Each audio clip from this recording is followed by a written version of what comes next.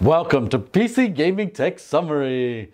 I'm your host, Gamer, and today we do our Tech Summary Germany June 2021 update.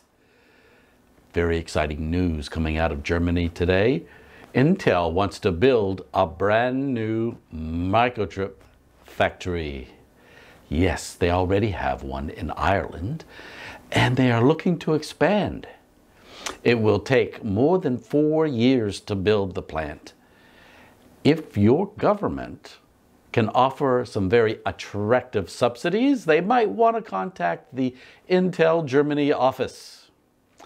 In other news, Bosch has opened a brand new automobile microchip factory. Fantastic. It's in Dresden, Germany.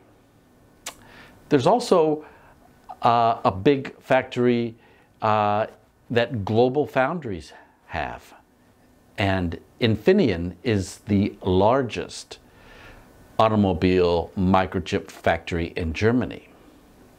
So hopefully with all these chips being manufactured, supply and pricing will be reasonable for the PC market. Well, thanks for joining me here on our quick update. And don't forget, you'll be seeing me in the next video.